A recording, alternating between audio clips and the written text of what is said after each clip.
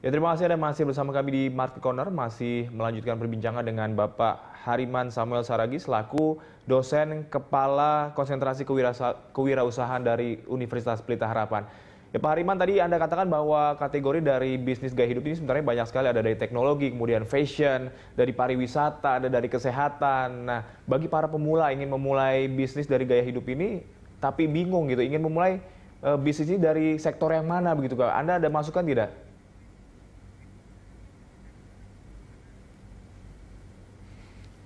Oke, uh, baik.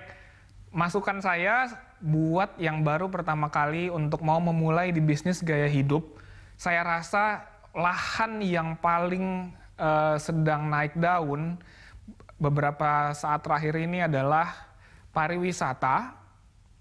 Dalam hal ini bisa mencakup ekoturism, yang di mana kita menikmati alam. Ya kita bisa lihat bahwa sangat digandrungi sekali wisata alam baru-baru ini entah itu hiking, entah itu diving.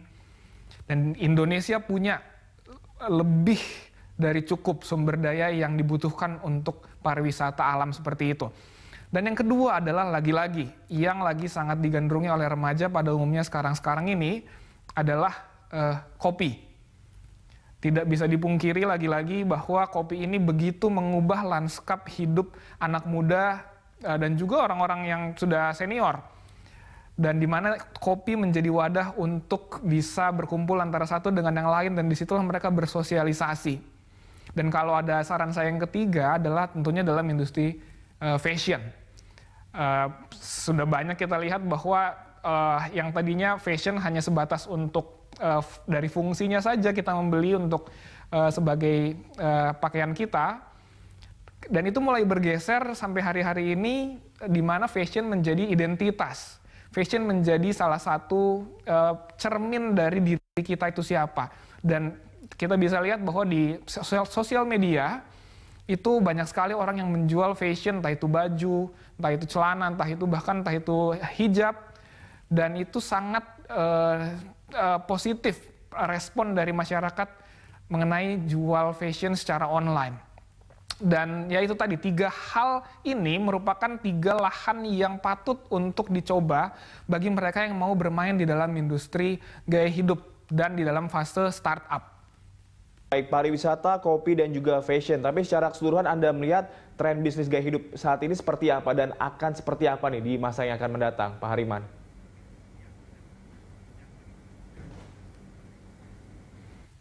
Ya, uh, menurut saya uh, bisnis gaya hidup di masa yang akan datang itu akan bergeser ke uh, gaya hidup yang mengapresiasi baik itu mengapresiasi sebuah produk atau jasa seperti misalnya kopi, bagaimana kita masuk ke dalam satu era di mana kopi dianggap sebagai satu produk yang patut kita lihat bagaimana dari dari dia penanamannya, bagaimana presentasinya, bagaimana cara penyajiannya.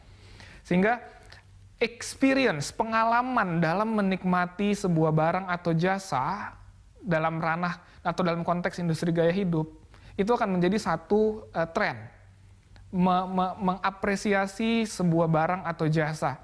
Dan yang kedua yang yang patut untuk saya katakan juga adalah gaya hidup yang lebih sehat. Orang-orang sekarang kalau mau mereka kalau mereka mau berlari bahkan mereka rela untuk membayar sejumlah uang hanya untuk berlari dan untuk ber, tentunya untuk bersosialisasi.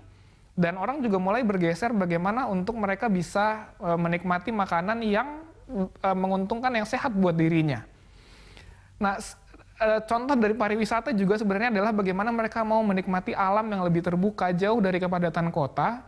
Dan itu menunjukkan bahwa masyarakat sangat mengapresiasi uh, alam yang sejuk, alam yang sehat, dan juga ma ma mereka mau untuk memiliki gaya hidup yang lebih sehat. Mereka sudah sadar pentingnya kesehatan. Dan saya rasa dua hal ini, budaya apresiasi dan budaya kesehatan, ini akan menjadi tren di waktu ke depan bagi masyarakat Indonesia. Saya rasa seperti itu apresiasi dan juga budaya kesehatan. Nah, selanjutnya dari sisi permodalan, Pak, dari sisi uh, tadi Anda katakan pariwisata, kopi fashion ini patut dicermati, tapi dari sisi permodalan bagaimana? Apakah ini akan menjadi pengendala, menjadi kendala tersendiri bagi uh, para pelaku yang ingin memulai bisnis ini?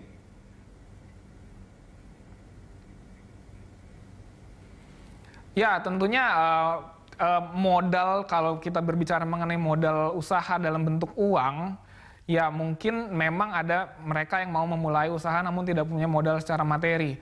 Tetapi jangan hanya berkutat bahwa modal itu hanya sebatas dari uang. Jadikanlah uh, modal uh, networking, modal teman-teman, uh, pengusaha yang lain, itu menjadi alternatif juga dalam memulai sebuah usaha.